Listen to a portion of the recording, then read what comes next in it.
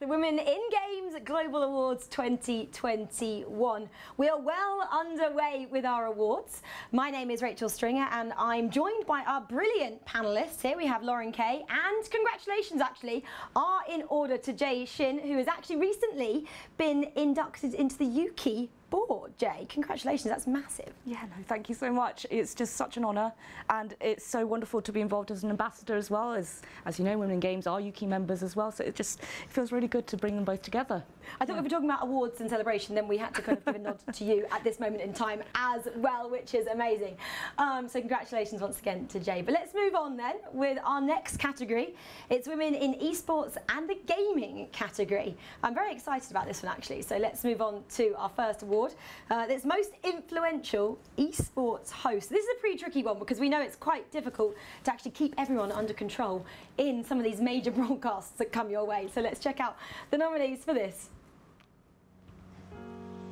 Britannia Johnson, Frankie Ward, Indiana Black, Jorin Vander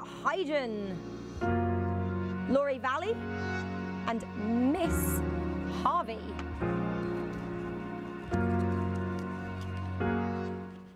Well, I've given the honour of uh, announcing the winner for this category. So it actually, this is brilliant actually. The, the future's looking bright and it very much is for our winner of this award. So the winner for the most influential esports host goes to Frankie Ward. Thank you ever so much for this award. It means a lot given that there are incredible nominations across the board in every category tonight. And I just want to say thank you to those people because I think the more women we have like you in the space, the more people that are going to want to be part of this. And I think that's the whole point, isn't it? To represent, to encourage more people, more women to, to get involved in and be the thing that they couldn't see in the past and now they can because of you. So thank you for this award anyone could win it at the end of the day, let's face it. Everyone is worthy. And yeah, I look forward to seeing what we achieve in the years to come. Thank you. Congratulations to Frankie there. Yeah, she said she looks forward to seeing what women can achieve in years to come. Congratulations. Let's move on then. Award number 11. We are really rattling through these. Next up, we have Most Influential Esports Campaigner or Entrepreneur. So I'm going to talk to you two about being entrepreneurs in this space. Don't look at me like that, guys. You're very much both entrepreneurs in this space. Let's talk about, I guess, the company you co-founded first, Arrogant Pixel. Yes. Um, I think it's really important that women don't get deterred from basically starting up their own thing. How and why did you start up your own thing, as you say, in the first place? Like, what inspired you, or who inspired you? Um, I think it was my father. Actually, he was. Um, he's always been a bit of a serial entrepreneur, and mm. he really did inspire me to be like, you don't have to fit into this mold of just like full-time job, um, doing what everyone else is doing, doing something a little bit different, having your own idea and actually actualizing it and I found him always really, really inspirational. He's always made his own money, and um, I also find it very empowering making my own, you know, mm. under my own terms. yeah. Well. So yeah. It is. It's empowering if you actually make that idea come to life. Lauren, you'll know this with your podcast. Was there a moment there before you actually launched it and put it out there to the world to, to critique and to listen to because we all critique everything out there? Did you think, oh, I can't, I can't possibly do that? And what gave you the motivation to, to get on with it? Yeah, I mean, the first episode, I'll tell you a funny story. It almost got pulled. Oh, no. I like released it, and then it was just kind of like, you might have to pull this. And I was just kind of like, oh, no. it's like episode one, gone, no. Um, but uh, it all went well, and, and it, it, did still stay live. Thank you so much to San. Um, but yeah, it was, it was, it was quite an ordeal and and in an initial bit trying to convince women um, to come onto the show who didn't maybe know who I was. who is this person who's asking me to talk? Um, it was a bit like trying to just pitch it, and um, but we, we got over the hump, and now it's just it's amazing how many women are, are willing to just sort of talk about their journeys, and um, I'm always willing to listen. It's being a little bit brave as well, isn't it? It's just having that kind of internal dialogue with yourself saying, actually, I can do this and it will work. Mm. Okay, so let's move on. Like I mentioned, with this next award, most influential esports campaigner or entrepreneur. Let's check out the shortlist. Dhyana Sena, Heather Garozzo, Christian Bansi, Rochelle Hofstetter, Sabine Saidi Nori, and Stephanie Harvey. Well, we have a presenter, actually, who is going to announce the winners for us for this award. Founder of Queer Women of Esports, it's Lindy, Lindsay Migliore. What's up, everybody? My name is Dr. Lindsay Migliore, also known as Gamer Doc, and I am the Executive Director of Queer Women of Esports. I am so honored to be presenting the award for Most Influential Esports Campaigner or Entrepreneur. And the winner is Dhyana Sena. Thank you so much to everyone who voted for me. Being nominated is an honor in itself, and to be here now to celebrate with all these amazing, incredibly talented women is such a surreal moment. I'm so amazed at all the work that a lot of women out there are doing to make games a safer and more welcoming space. It's always been a passion of mine to see more women in games, and so this moment is truly incredible. Thank you so much once again. Well, congratulations there to all our winners so far this evening. Um, they're such worthy winners, and we still have loads more to bring you as well. Let's move on now then with award number 12 out of 20 of this evening. And our next award is for the most influential esports shoutcaster or analyst. Let's check out the nominees. Emily Don Donaldson, Froskurinn, Jess Goat, Lauren Pansy Scott, Lemon Kiwi, and Michelle Moxie Song. Well, I'm going to give someone else a chance now, and Jay Shin is going to uh, actually announce the winner for us. Jay, please do the honors. Amazing. Right, let's find out. And the winner is Emily Donaldson. Congratulations.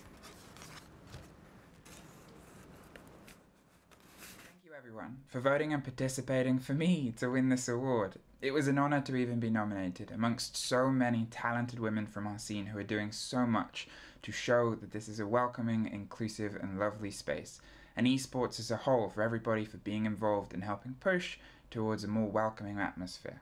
Thank you for putting on the awards show, and again, it's such an honour to even be nominated to take it. Well, it's made being locked in this hotel quarantine that much sweeter. Thank you again, and enjoy the rest of the show. Well, I hope Emily's out of that hotel quarantine that she finds herself in recording that video. But congratulations on that win, Emily. Let's move on then to Award 13 Most Influential Gaming Community Group or Network. Let's have a look at the shortlist. Nominees are Brown Girl Gamer Code, Code Coven, Dota Valkyries, Full Sail University Esports, Melanin Gamers, and the game Hers.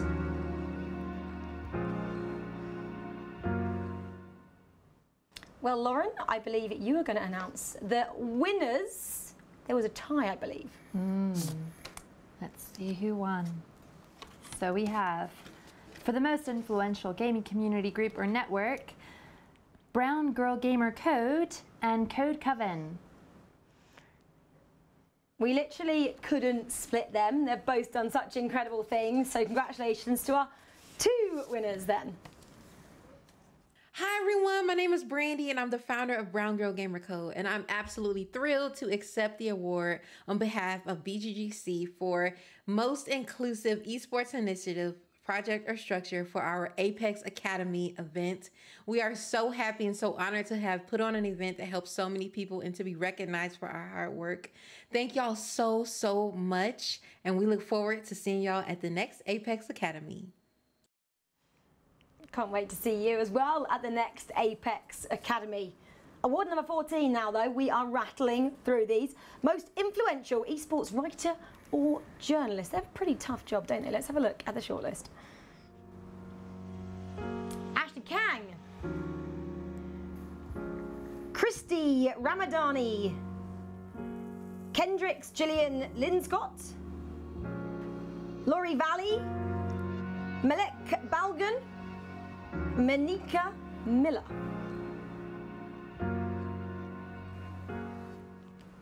We have actually an external presenter from Google to present this award for you. It's Francesca Alicia. Hello, my name is Francisca. I'm working in the gaming team at Google here in EMEA, and today I have the honor to present you the award in the category Most Influential Esport Writer or Journalist. And um, without further ado, let's see who won.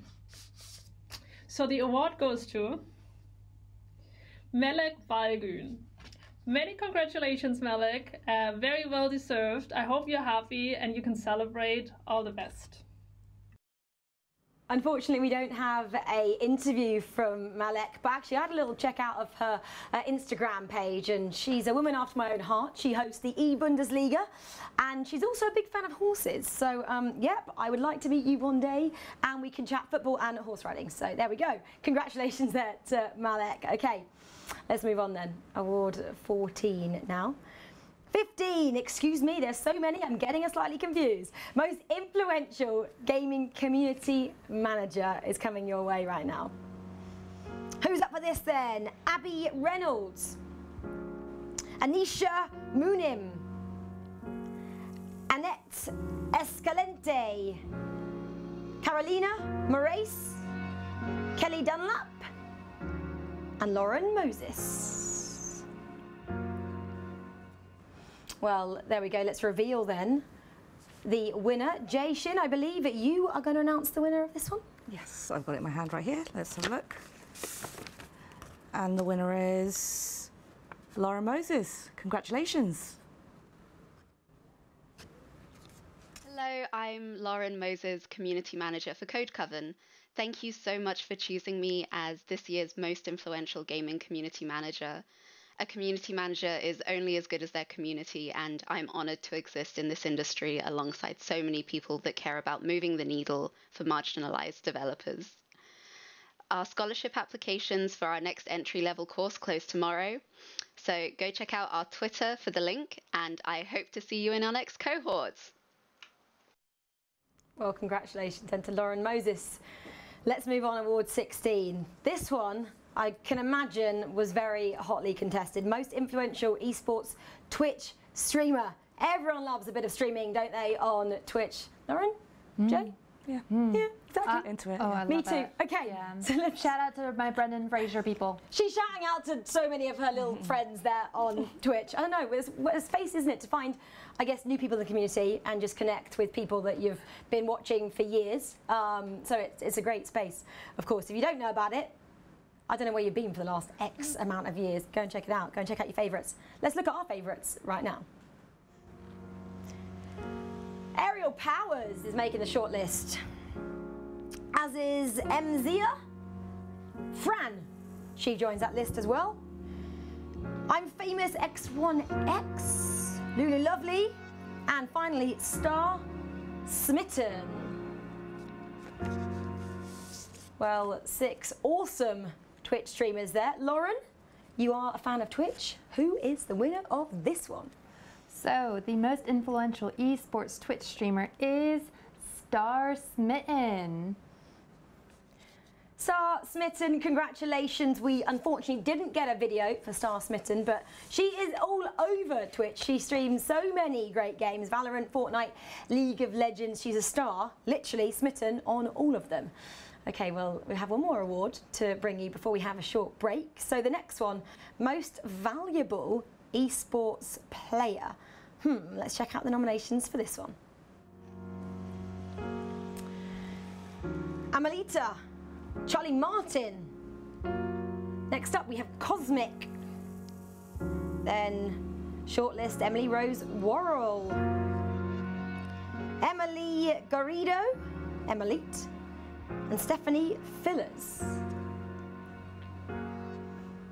And we have Jax Garrett, then CEO and founder of GGWP Academy, to present this award all the way, let me add, from the other side of the world in Australia.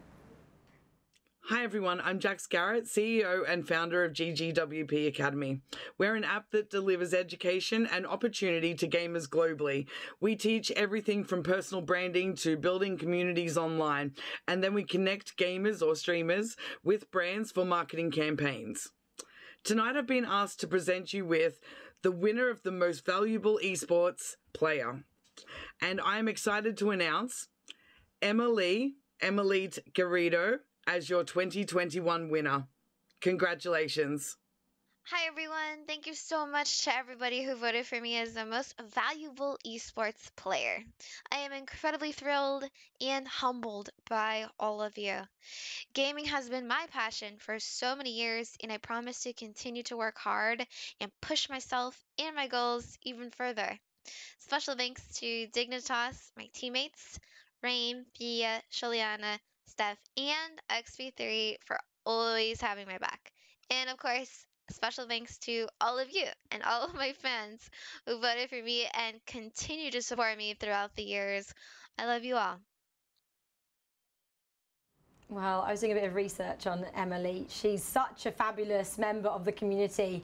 I mean, her journey started, didn't it, when she was a founder of one of the top female Counter-Strike teams, Team Karma. She mentioned now she's a member of Team Dignitas. But I love, guys, that she's a part-time nurse as well. So has to still fund her esports career with a different avenue, being a part-time nurse, which shows we still have a little way to go, but shows that us females can can do it all, Lauren. oh my God, yeah. No, I've I've known people who've done like games journalism and been midwives, and you know, yeah. There's so many of us who start out having day jobs plus plus gaming, and it's just insane. What job did you possibly have to do, Lauren? If you did, if you weren't lucky enough to go straight into esports as a full-time job, I know you're a mum as well. Yeah, I am. Yeah, no, that that's a major job. yeah, that's, a job that's that's a lot. Um, but yeah, no, I um, before this all started, I was actually a graphic designer for a little company. We used to make window film. So every time you saw it in like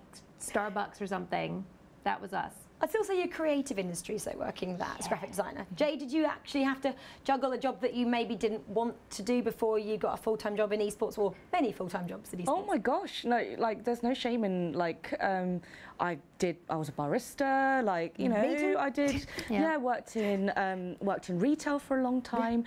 But it's it's just about gaining that work experience and just becoming independent. That's the thing that's important, so that you can chase your dreams, so that you can do all these things.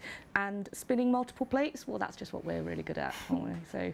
and I guess having the jobs that you don't particularly want to end up at, it just really kind of makes you a better person and actually gives you even more determination mm. to get there in whatever career it is in the mm. end. So, mm. barista, I don't know, waitress, whatever you guys are doing, graphic designer, don't worry, you can get there in the end if you, you just continue to work really hard. Okay, well, we have one more short break for you right now for the Women in Games Global Awards 2021. But come back and join us because we have the big one coming up next. We have the Hall of Fame Award coming your way. We have such great nominees in this. We also have the Snapchat Game Jam Award as well. So some more great awards coming your way right after this short break.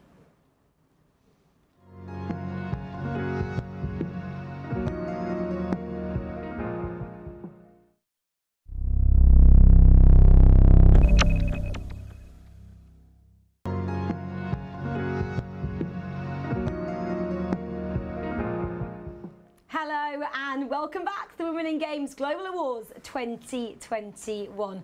What a night we have had so far, celebrating so many females in video games and esports.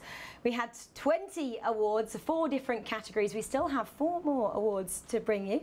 So I hope you're very excited for I'm going to say two of the big ones, the Hall of Fame Award and the Snapchat Game Jam Award as well. My name is Rachel String. I've been your host this evening, and we have these two wonderful panelists joining us as well. Women in Games ambassadors to boot. Jay Shin and Lauren Kaye have been here all evening. Guys, you having a good time? Yeah. yeah. what a way to spend your Saturday night, right? Yeah, absolutely. It's really great. I've already heard from my husband that uh, my eldest has already snuck into the room and said, that's really cool. Oh, well, you are really cool. I mean, you're working in video games and obviously esports. But let's kind of continue with this evening. Ward 18 coming your way right now. Favourite all women or co ed esports league or tournament? This is a big one. Let's have a look at the shortlist. eFuse, women on the arena. Oh, female esports league, FSL. Newell League of Legends tournament. Queen's League. Verizon VCT Game Changers and Women's Esports League from Female Legends. Well, we have an external presenter for this one, Bryony Hanam, digital content creator of Overclockers. Actually, they were very kind in letting us have these chairs that you two are sitting on. How comfortable are they? Please tell me they are super comfy. I saw them earlier. So I know comfortable. they are. Noble chairs. Yeah, yeah, great cushions. You want one? Great, yeah. great support. We want three, guys. Please, Bryony, if you're hearing us, we love three chairs. Anyway, I'm joking. Um, Bryony, over to you now. Hello, wonderful women in games. My name is Bryony, a content creator at Overclockers UK. We love tech and gaming, and I am so pleased to be announcing the favourite all women or co ed esports league or tournament. Thank you to the nominees for creating a platform that showcases the awesome and talented women in esports. Your tournaments, leagues, and communities improve inclusivity and inspire women to team up and play together. However, there can only be one winner. Verizon VCT Game Changers presented by Dignitas. On behalf of Dignitas and our partners at Riot Games, Verizon, and Twitch, I'm honored to accept this award for Favorite Women's Tournament. It's so important that we encourage more women to compete in esports. This is truly an incredible industry, but it can be very intimidating to know where to start, how to find teammates, and providing tournaments like the VCT Game Changers is a great way to encourage women to jump into this competitive ecosystem and hopefully one day they'll become the best in the world. Thank you so much for voting for us and I hope to see you in our future events. Well, congratulations to Dignitas, and that is one hell of a tournament about to be staged behind her as well. That looked pretty fancy. Um, I can't wait for all these tournaments to be back in real life as well. I'm sure both of you are kind of a little bit done with sitting in front of your camera at home, streaming all around the world. It's great to be there in person, of course. Okay, Award 19 is coming your way. Most inclusive esports initiative, project or structure. Let's check out this shortlist. First up, Brown Girl Gamer Code. Melanin Games. Queer Women of Esports. Race Me, Athletes and Gamers for Diversity and Inclusion, Esports Spartana, and Wesports. Six great nominations once again there for the most inclusive esports initiative. And to present this award, we have Emma Brown, co-founder of Dota Valkyries. Hi everyone, this is Emma from Dota Valkyries. I'm really pleased to be able to be here today to be able to present an award for the most inclusive esports initiative, project, or structure. Inclusivity is at the forefront of everything that we do at Dota Valkyries, and increasing it in the esports scene has been a lifelong passion of mine.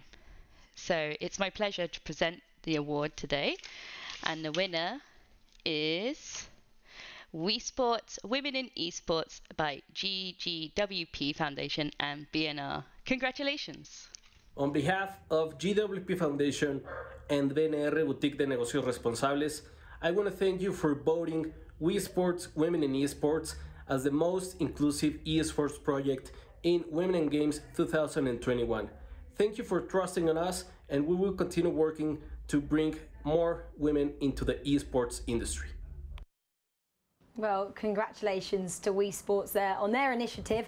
I think it's so important, isn't it, guys, to have any kind of initiative set up like that. Like I'm doing the She Sports Cup, the all-female FIFA tournament, to try and provide a, a, safe space and a platform for females to play FIFA because they're so underrepresented in that area. But I mean, who did you look up to, uh, Lauren, when you first kind of joined in this space? And, you know, if you had someone like Wesports there, would you have wanted to be a part of it, join in straight away? Oh, of course. Like, I think it's, it's so amazing uh, what women in esports are doing. Um, and I mean, there's so many, there's so many women to, to look up to. Um, when I was younger, I didn't really have the exposure to have someone look up to, but like with she plays games and with the Women in Games Ambassadors program, I've really sort of found found more and more women who I just have as my heroes, really. and Jay, I'm sure you've come across your fair share again of initiatives and projects that have been put in space over the last couple of years. Have you got anyone in particular that inspires you or who you've seen at the forefront of what they do of really pushing boundaries? I mean, there's I couldn't name just one individual, to be honest. But the the main thing is that we just need to create more spaces because. You know, the more that we create, the more opportunities there are for women in games and uh, esports especially. We need more players. We need more female representation. We need people that young girls can look up to and just be like, I can do that. I'm not saying it's as easy as putting it on your own Twitch stream, but it kind of is. Mm. You know, we all have our own Twitch platforms, which is basically where we're able to broadcast whatever we like. So we can all start our own initiatives or projects. It's literally like we just mentioned before, being brave enough to do so, would you say? Mm-hmm, completely. And um, like I know so many friends who are doing uh, charity streams. Ellie Joy Panic is, Shout oh, out. Ellie Rhodes is, uh, she's just a, an incredible person. And, um, but there's, there's so many people um, that are just doing just so much great stuff for both the industry and for charities as well. Yeah, absolutely. And they'll continue to do so, I'm sure, and continue to inspire many more females to take on their own projects and initiatives as well.